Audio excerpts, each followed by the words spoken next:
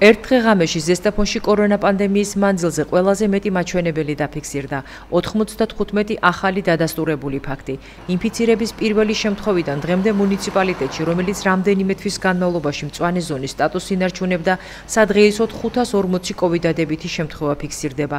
საზოგადოებრივი ჯანდაცვის მუნიციპალური ცენტრის დირექტორი მოსახლეობას ციფრთხილისკენ მოუწოდებს. თამარ გველესიანის თქმით, საჭიროა პირბადის სწორად ტარება, დისტანციის დაცვა და საზოგადოებრივი თავშეყრის ადგილების მისგან გარიდება. ყველაზე მაღალი მაჩვენებელი დღეს დაფიქსირდა ზესტაფონის მუნიციპალიტეტში. ეს იყო ჩვენთვის სამწუხარო რეალობა, იმიტომ რომ ორი დღის წინ იყო 46 შემთხვევა, გუშინ დაფიქსირდა 26 და გვიანღამით მივიღეთ 95. ეს უკვე ისეთი პიკი იყო, ძალიან მნიშვნელოვანია და საფრთხილოა ძალიან. 804 ყავდა თვითიზოლაციაში და ამჟამად მიმდინარეობს ეპიდკვლევები, რომ მოვიძიოთ მათი კონტაქტები და უკვე გაიზრდება ეს მაჩვენებელი.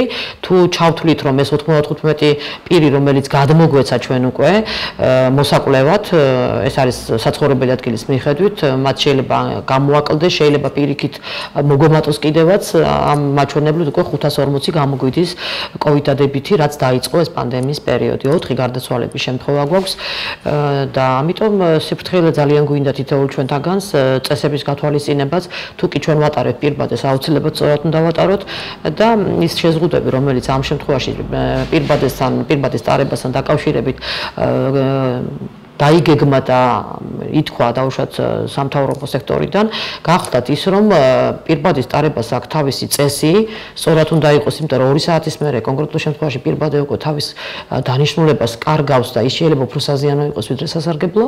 მას გამოცვლა ჭირდება და ეს გარკვეულ ეკონომიკურ ხარჯებთან იქნება დაკავშირებული. თუ რამე აუცილებლობით არ არის გამოწვეული ახლა მეტნაკლებად თავ უნდა შევიკავოთ ჩვენ თავშეყრის ადგილებში მოხდრიდან და თუ მოხვდებით უკვე წესები დავიცვათ. და ეს ეხება როგორც დახურულ სივრცეებს ასევე ასევე ღიას. ამიტომ გარკვეული სიფრთხილე ნამდვილად ჭირდება. სესტაფონის მუნიციპალიტეტში უკვე დისტანციურ სწავლებაზე საგანმანათლებლო სექტორი გადავიდა. ეს მოლოდინი მეტნაკლებად ჩვენ გქონდა, იმიტომ რომ საარჩევნო პროცესი იყო, მეტი თავშეყრა არსებობდა და გარკვეულად უწია ახლა ამ პერიოდმა აი ამ დღეებში. იმედი ერთად ყველა გამომგლავდებით.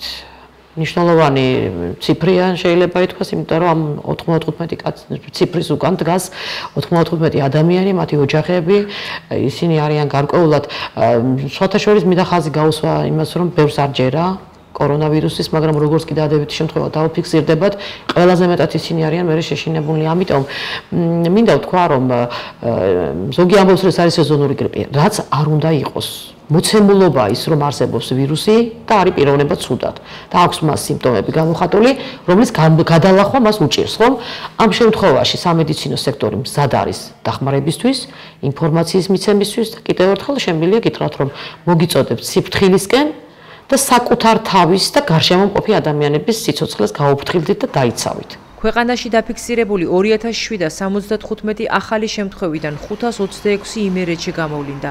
ჯერჯერობით როგორც ოფიციალური წყაროები იტყობინება მხოლოდ წერტილოვანი შეზღუდვებია ძალაში, თუმცა შესაძლებელია საღამოს საათებში გადაადგილებაზე შეზღუდვები დაწესდეს.